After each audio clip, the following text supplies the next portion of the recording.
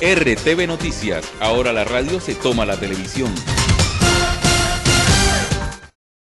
7 de la mañana, 12 minutos. Continuamos con el desarrollo de noticias aquí en el canal RTV. Como les decía, eh, esto fue la noche del sábado. Del sábado eh, el juez de garantías eh, no encontró méritos suficientes para imponer eh, en su contra medida de aseguramiento a las personas que fueron eh, capturadas en días pasados, entre eso la señora alcaldesa de Bagadó, la abogada Xiomara, el exalcalde encargado y la otra persona que al parecer era el jurídico. Estas personas han salido de este problema eh, también por el trabajo que han hecho sus abogados. Eh, hemos querido pues hablar con el doctor Dairon que nos atendió el fin de semana cuando se presentó el hecho de las capturas y nos habló de esto, de la defensa de sus clientes, pues eh, él ha manifestado que va a concertar con sus clientes a ver si nos atiende y nos da pautas eh, de este, de este, de este eh, problema en el cual se habían metido estas personas.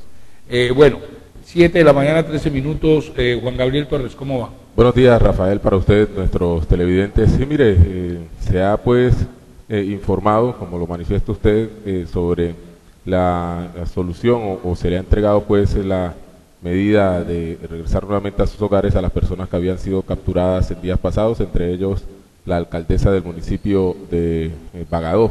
Esperamos conocer pues detalles acerca de eh, cuáles fueron los conceptos, cuáles fueron las razones que tuvo el juez para dicho de- el juez, no encontró méritos, eh, que no era un delito y que ellos no eran unas personas que, fueran peligro para la sociedad.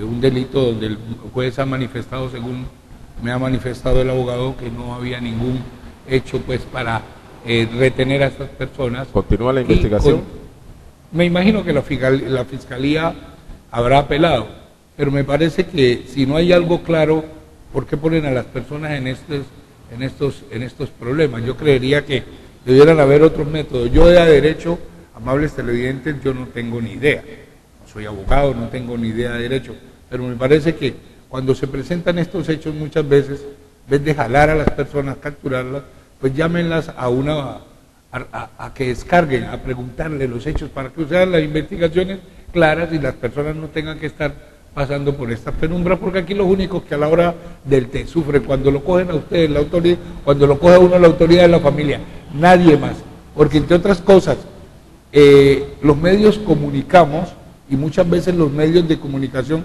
terminamos siendo culpables en esto porque muchas personas se escudan diciendo que nos los están atacando. No, cuando uno es popular, no.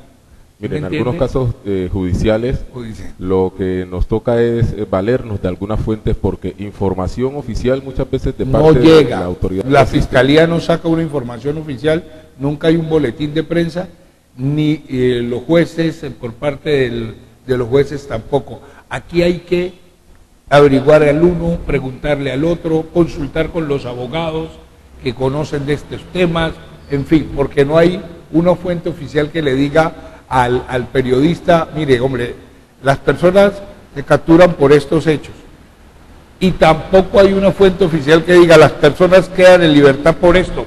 A veces sí hay bombos y platillos cuando No, hay cuando capturas, usted, no, pero claro. ya la Yo persona es recuerdo la semana pasada y los medios y, y mucha gente y ese era el bombo y el día eh, del día, la noticia del día fue cuando los capturaron. Y yo no sé si hoy los medios, pues al menos este medio, así como habló de la captura, habla de que han quedado en libertad, para que se quede clara la cosa. 7 de la mañana, 16 minutos.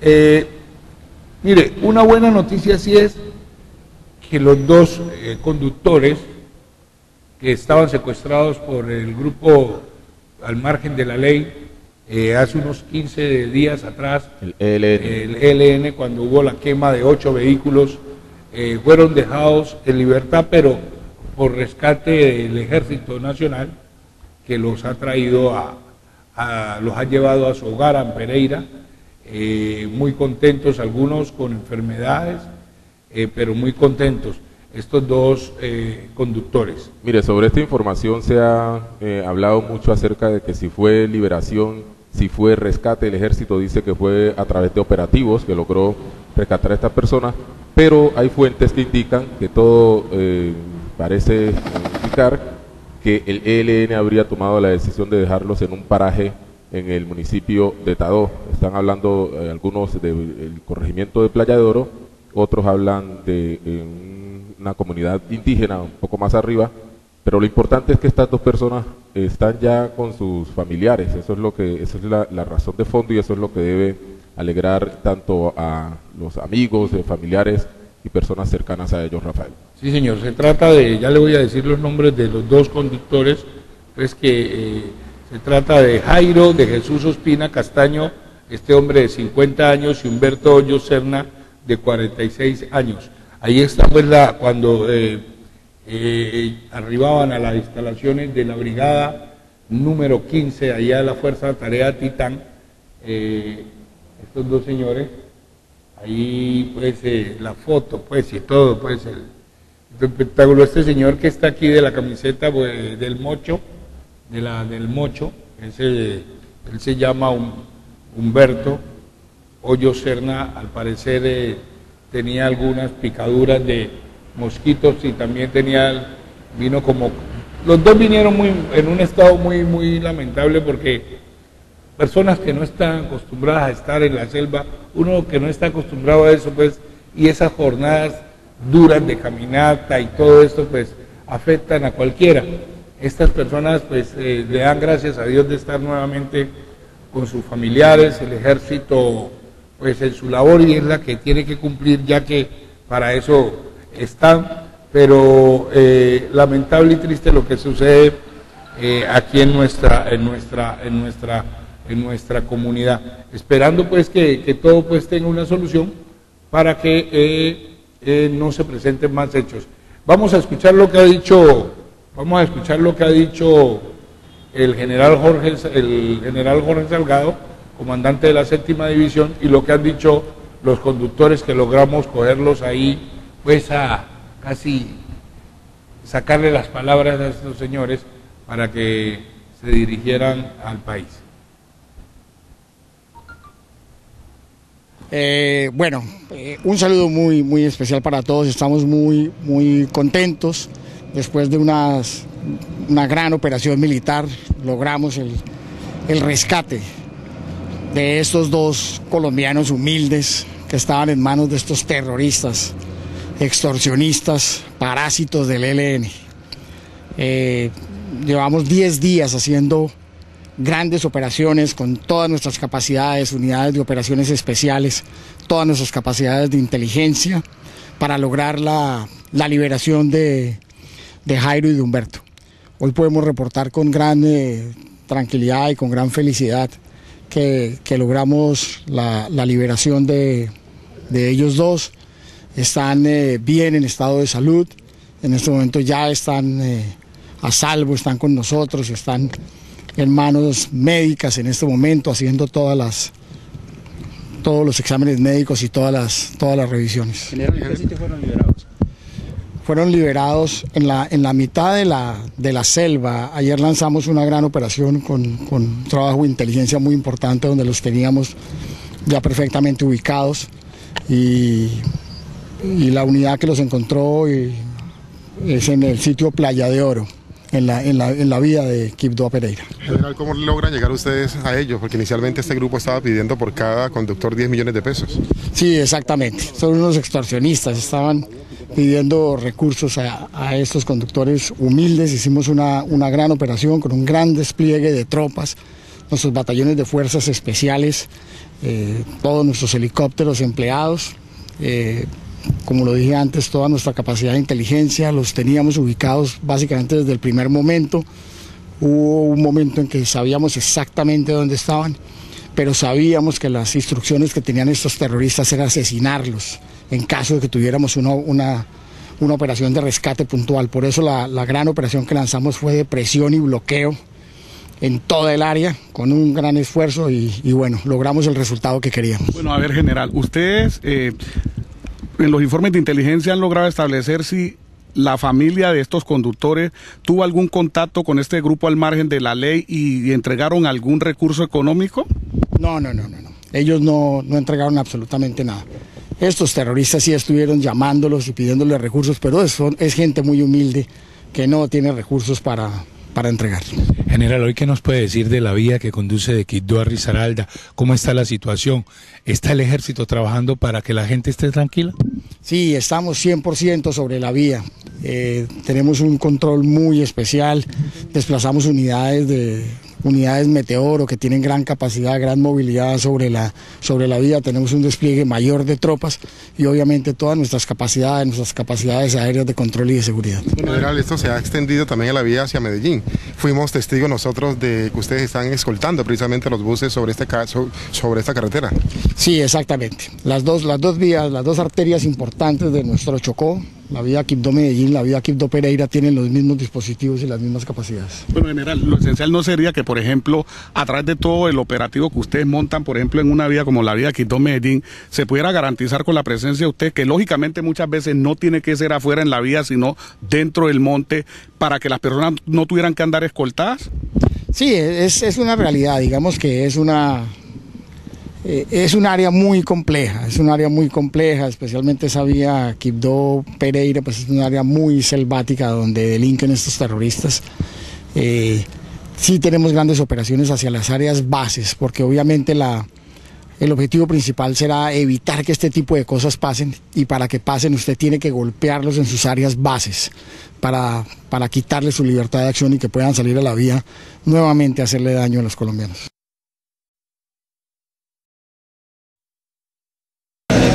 Hoy el mensaje a la familia que, ah, con los mensajes que le enviaron los llenaron de fuerza para... gracias a Dios estamos bien aquí ya en, libertad, que es lo más importante. ¿El trato cómo fue? ¿Qué les dijeron a ustedes? El, trato fue bueno. Ajá. Muchas caminatas. Muchas caminatas, mucho tiempo caminando. Cuéntanos cómo fue el día del secuestro, los, ¿qué les dijeron ellos a ustedes? No, que los acompañáramos. ¿Sintieron miedo con las operaciones del ejército? Sí, claro, sentimos miedo. Inicialmente a ustedes les pidieron 10 millones de pesos. ¿Qué, qué, pues, pasó? Ya eso sí no sabemos que, nos, dijeron no, acompáñenos y ya. ¿Qué les decían ellos cuando los helicópteros sobrevolaban?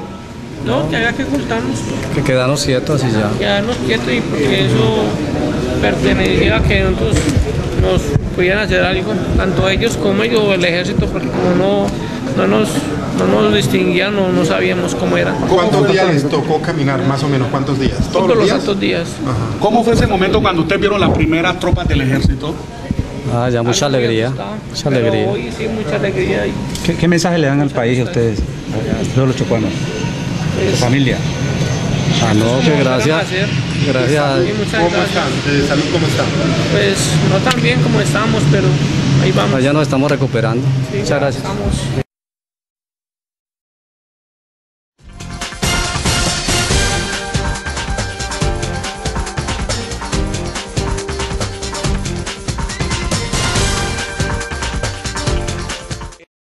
Siete de la mañana, 26 minutos, ahí estaba pues eh, el regreso a casa, tranquilos, pronto un poquito eh, golpeados por la caminata, por tantas cosas.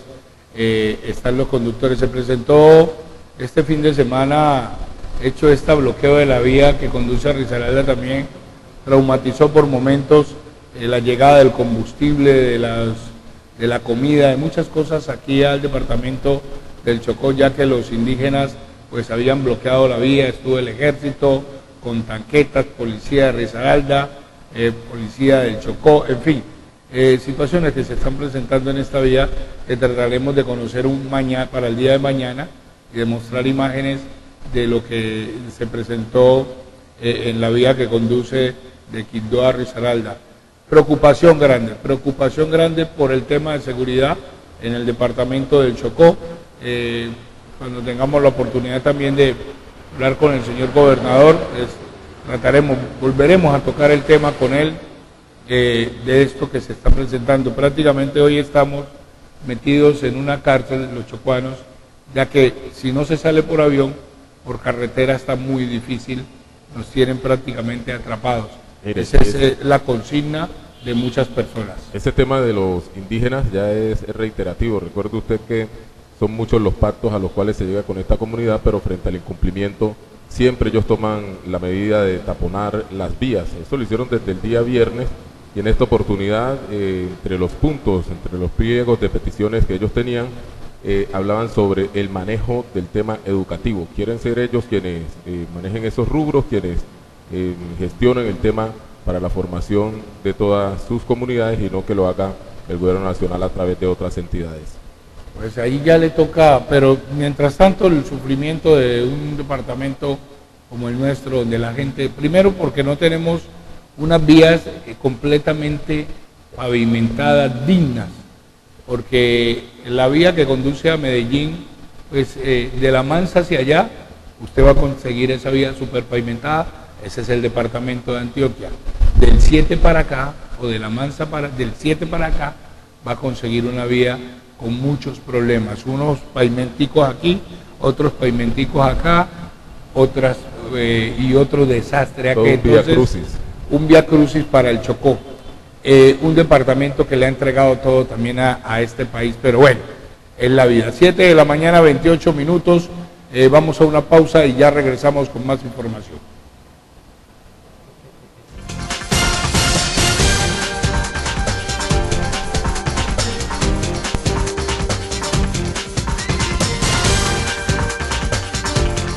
RTV Noticias, ahora la radio se toma la televisión.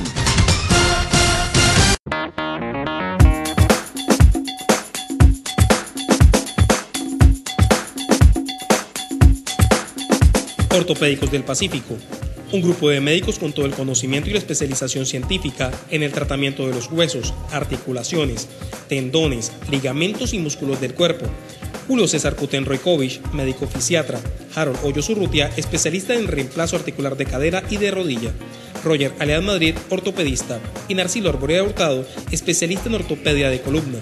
Contamos con las nuevas técnicas quirúrgicas y los procedimientos en servicios ortopédicos más avanzados, que incluyen el uso de sustitutos de injertos óseos y la fijación externa avanzada, así como el tratamiento de deformaciones e infecciones en los huesos y columna vertebral, ruptura de ligamentos, juanetes, dolor de talón, luxación de rótula, terapia física, respiratoria y todo lo relacionado con el campo. Ortopédicos del Pacífico, carrera cuarta número 2912, teléfono 320-672-9448. En Quito y al servicio de todo el Chocó está suministro de oxígeno Chocó. Distribuimos manómetros, aire comprimido, nitrógeno, óxido nitroso y todo lo relacionado con equipos de esta línea. En la calle 29, número 548, barrio César Conto. Celulares 314-891-3417, 314-837-5872, 316-847-4796. Suministro de oxígeno Oxichocó. Proveemos vida.